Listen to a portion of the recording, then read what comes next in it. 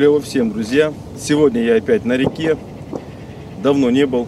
Сегодня 14 ноября, конец осени. У нас наконец-то похолодало. Утром в 7 утра доходит до минус 3, днем поднимается до плюс 10-12.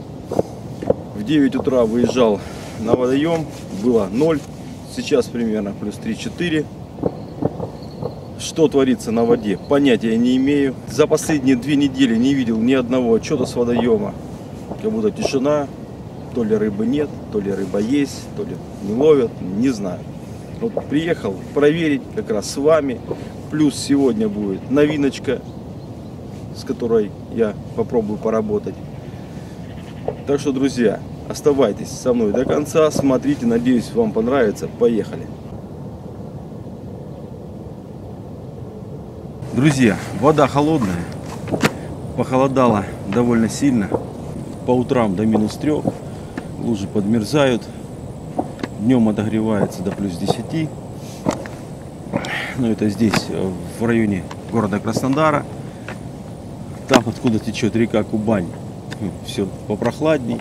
Поэтому, соответственно, и прикормки нужно делать уже именно для холодной воды. На меня вышли ребята, написали мне письмо CRC предложили прислать мне на пробу их арому, их вонючки. Попросили два с двух рыбалок сделать два фотоотчета с рыбалок. Мне это не интересно, мне это скучно и решил пойти дальше, э, попробовать и показать вам, действительно работает, не работает, непосредственно на воде. Снять, чтобы было действительно видно, работает вещи эти или нет. На водоеме, как я говорил, э, не был за последние две недели, не видел ни одного отчета. Рыбаков много, по всему берегу сидят. Ну вот сейчас с одним рыбаком общался, у него была одна чехонька и две густерки и все. Поэтому, в принципе, в таких условиях, конечно, проверка будет не настолько серьезная, потому что не поймешь, то ли не сработало, потому что что-то сделали не то, то ли рыба в пассиве. А тем не менее, сегодня сделаем. Прислали мне несколько вот таких бутыльков с разной аромой. Выбрал я на данный момент красный вектор. Это что-то со специями, сильный довольно запах. Запах мне понравился. Вся прикормка на основе меласы. Для правильного приготовления, чтобы проверить, работает или нет, я взял черную базу, холодная вода, нужна черная прикормка. И вот я взял именно базу. Э, базы отличаются от основных прикормок тем, что они очень слабо ароматизированы, практически там минималка. Это база что-то небольшими запахами таких вот э, печенюшек. В принципе и все. Очень-очень легкий запах, еле прочувствуется черного цвета, мелко, с краплениями э, молотой кукурузы, еще каких-то зерновых. Как раз то, что сейчас и надо. Довольно мелкая структура прикормки. Со всеми аромами на основе меласы нужно работать правильно. Э, работать можно двумя вариантами. Первый, это если в планах ловить рыбу, которая э, клюет в толще воды. Плотва, чихонь, шамая и другие рыбы, которым нужно, чтобы прикормка сильно-сильно пылила. Тогда мы из бутылька прям в сухую прикормку насыпаем, наливаем меласу или арому на основе меласы. Перемешиваем. Вообще не добавляем воды. Прикормка будет казаться очень тяжелая, очень липкая. Но при попадании в воду она будет взрываться.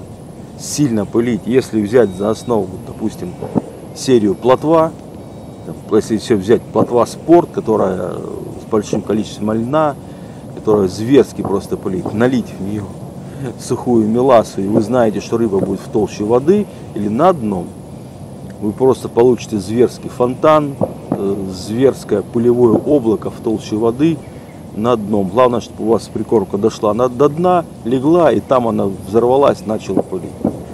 Сегодня же я буду пытаться поймать рыбу у дна, в реке сейчас небольшое течение, уровень воды очень низкий, ниже, чем последний раз я был тут, наверное, месяца полтора назад, месяц.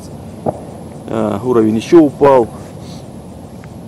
И мне нужно, чтобы прикормка максимально лежала на, дна, на дне, призывала рыбу именно аромой с этой меласы. Поэтому для начала нужно, чтобы прикормка взяла воду. Только после этого добавляем э, аромы на основе меласи или сицел. Немножко воды.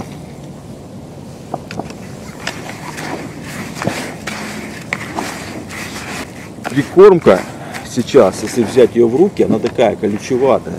Слегка чувствуется сухая, колючая. И нам нужно, нужно добавить воды столько, чтобы на ощупь она стала влажной. Она оставалась рассыпчатая, но вы рукой очень хорошо чувствовали влагу. То есть это значит, что вся прикормка сверху намокла водой. Еще капельку. Воду добавлять буквально по чуть-чуть, чтобы не переборщить. Вот все, вся прикормка намокла. Я могу ее сдавить, и вот она даже слегка вроде бы слепилась. Ну и раз легко она также в пыль рассыпается. То есть она намокла сверху, но еще не пропиталась водой. Когда она пропитается, она будет совершенно сухая и не будет лепиться. Это нужно сейчас холодно дать постоять минут 10. Когда вы возьмете прикормку, она будет теплая и при этом совершенно не будет лепиться, значит все, прикормка готова, чтобы в нее э, доливать арому на основе меласа или сицел. Ну что, друзья, вот прикормочка постояла, стала слегонца теплая на ощупь и перестала практически лепиться.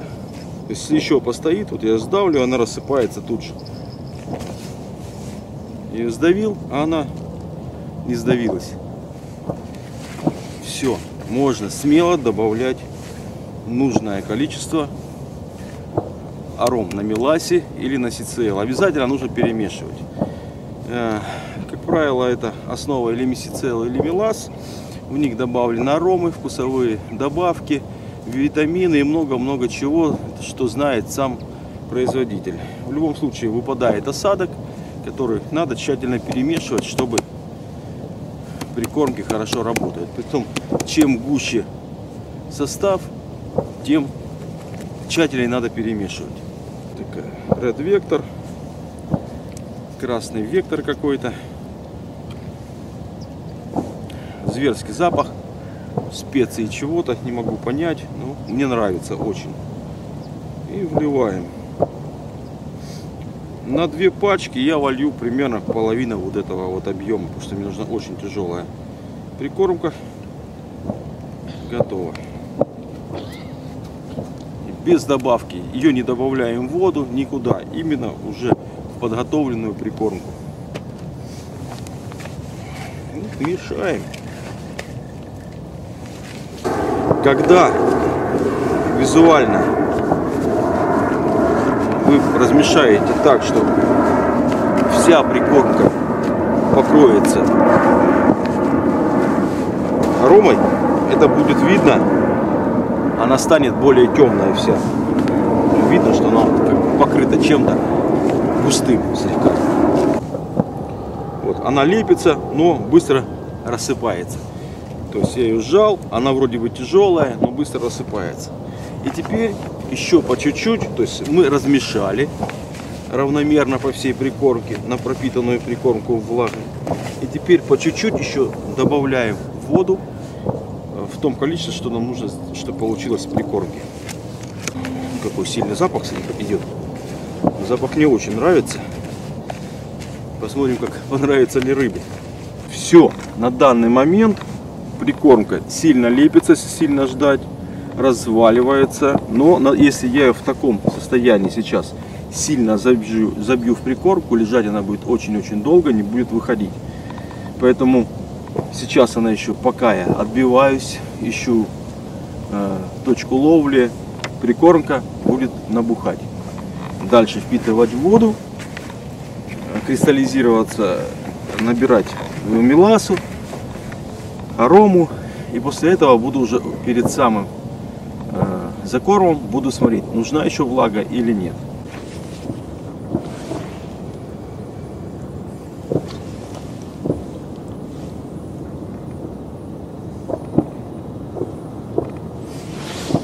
Отлично видно, как уносит мелкую муть, которая уносится сразу. Уносит прикормку, э, уносит вместе с ней арому. именно вот эта мелкая муть, которая на большом-большом расстоянии распространяется течением. И главный, кто зовет рыбу. Не крупная частица, а вот именно вот эта мелкая муть. Она должна позвать рыбу. Э, арома, которая вышла из прикормки, точно так же ушла позвать рыбу. А уже рыба, придя на точку, увидев вкуснятинку много, начинает копошиться в ней, выбирать вкусные частички и клевать. Прикормка готовая. Сейчас буду делать первый закорм. Кормушка у меня вот такая, 6 клеток, 40 грамм. Я сел на прогоне. Давайте начнем кормить. Не буду рассказывать. Я сел на прогоне перед входом в прижимную яму.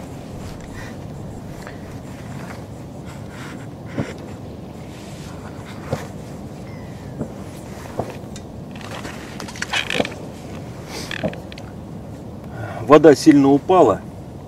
И как раз сейчас у меня под ногами русло проходит. И вправо, как раз там сейчас большая часть рыбаков сидит, прижимается к берегу. И там уже образуется яма с, с обраткой, затяжком, совсем, как положено. Я сел на прогоне, я предпочитаю это место, предпочитаю ловить непосредственно на прогонах, не в самих ямах. Дальность заброса на данный момент у меня 14 оборотов катушки, потому что яма под берегом.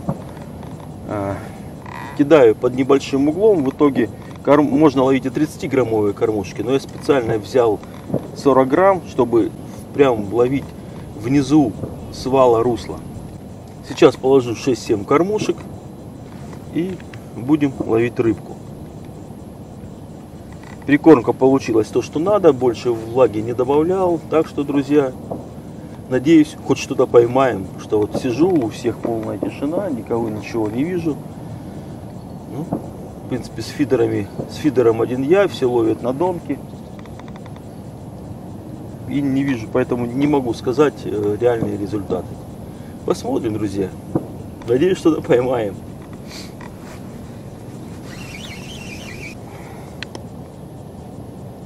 Ну что, друзья, последняя кормушка.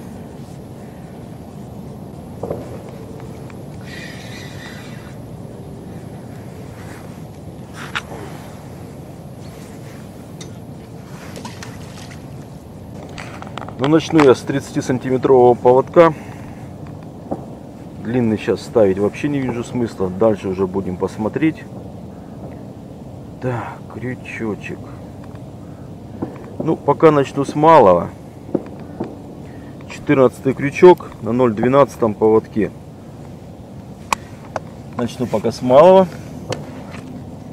А дальше по обстоятельствам.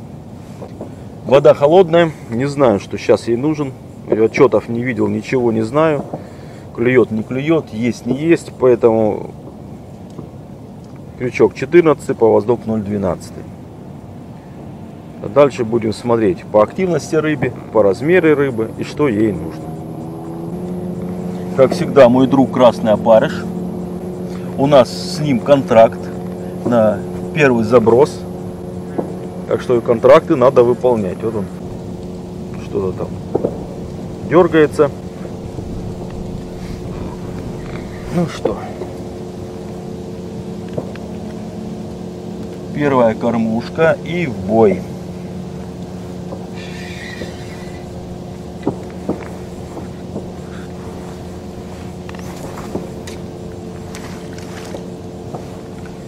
Долго ждать не буду, особенно первое время, где-то в районе минуты. Потом посмотрим, какая активность рыбы, будет, не будет. Возможно, придется увеличиваться до трех минут. Ну, больше трех минут я не вижу смысла ждать.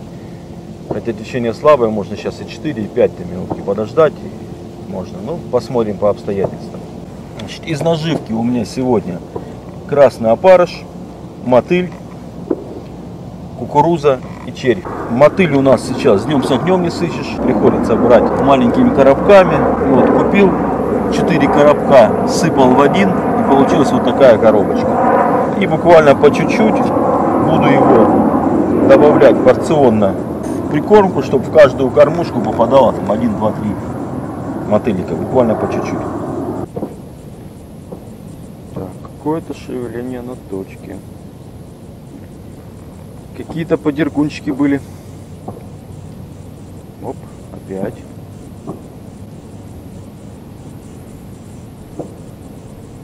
Шестой заброс. И на шестом забросе были первые подергунчики на точке.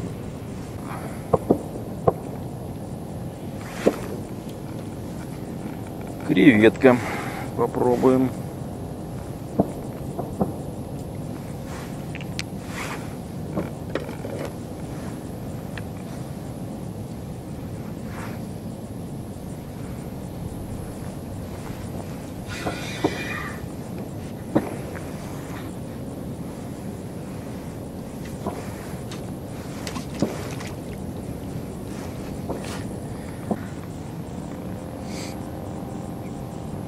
Поклевка была хорошая.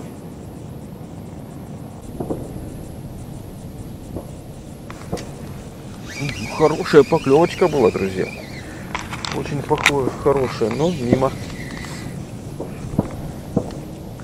Очень хорошая, сильная, но мимо. Попробую удлиниться. Поклевки есть. Не, Сейчас была хорошая. А так, обычно одиночный. Дюб тишина, дюб тишина. Попробую сейчас удлинить поводок. Посмотрим на реакцию рыбы. Удлиняюсь до 60. 30 вставка и 30 поводок. Что нам это даст? Ну, то, что какие-то поклевки есть, это радует. Других я ни у кого ничего вообще не вижу. Посмотрим на дальнейший результат. У меня в точке шли зацепы. Оборвал 4 поводка. Сместился левее на метр. Пока вроде зацепов два заброса, две поклевки и зацепов не было. Посмотрим дальше. Сейчас забросил чистую, без аромы не пшикал ничего. Оп, поклевка. Поклевка. На счет 36 была поклевочка. Оп, оп, оп. Есть рыбка, друзья, есть. Что-то там всадил. Кто там? Ой, что у нас? Шамаечка, да? Да, шамайка, друзья. Шамайка, друзья. Есть рыбка, подходит. Значит, все мы делаем правильно. Такая красавица.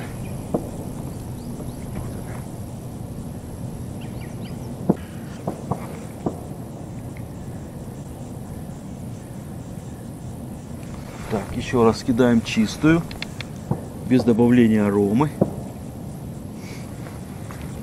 Должна рыбка собраться, должна.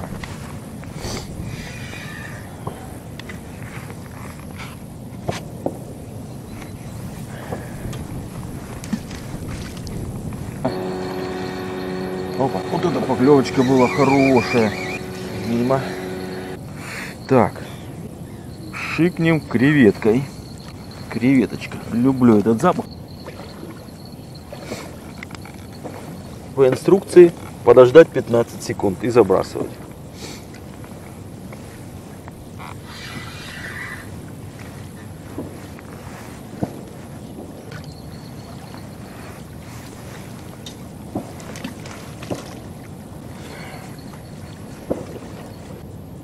Ничего себе! На 14 секунду всадила. Кто там? Кто там? Шамайка. Вот так, друзья. Креветка, походу, сработала. Сейчас будем повторять.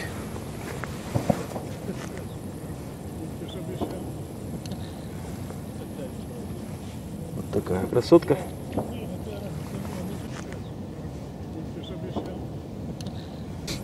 Рыбка поклевывала.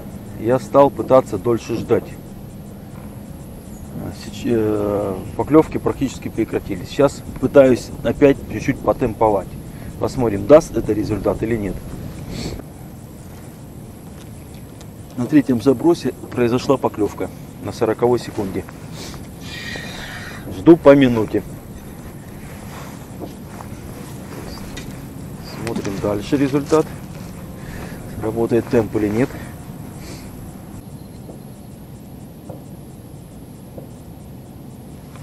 Оп.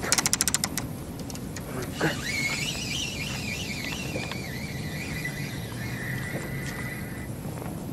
Кто там? Шамайка. Так. Шамайчика. Темп рыбку позвал, друзья. Так что темп работает, работаем в темпе.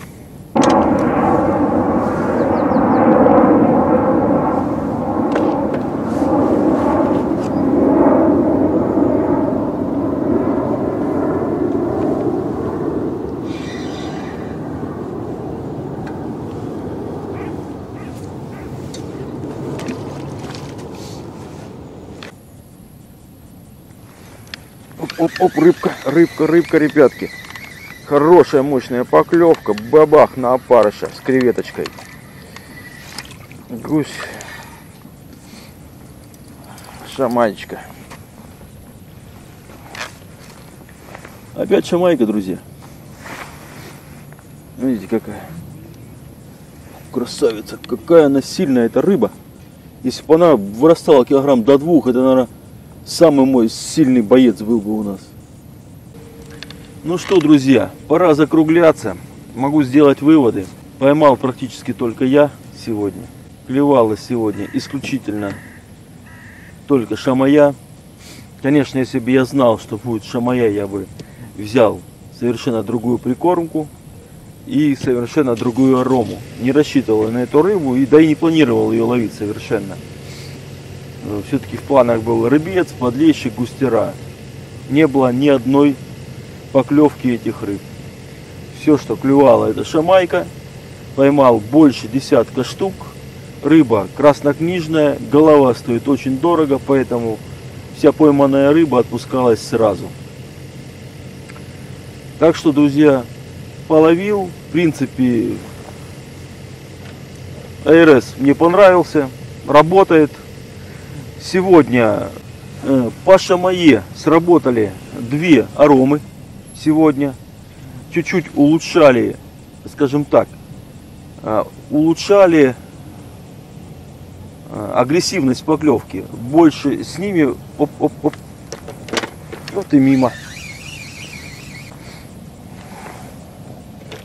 С ними вероятность засечки рыбы была выше. Рыба брала ее более жадно, более агрессивно. Э, В основном поклевки были очень нежные, такие дюб. Через время дюб, через время дюб, раз засеклась, поймал. Э, Результативность при этом была очень-очень низкая, пришлось поиграть, поподбирать крючки.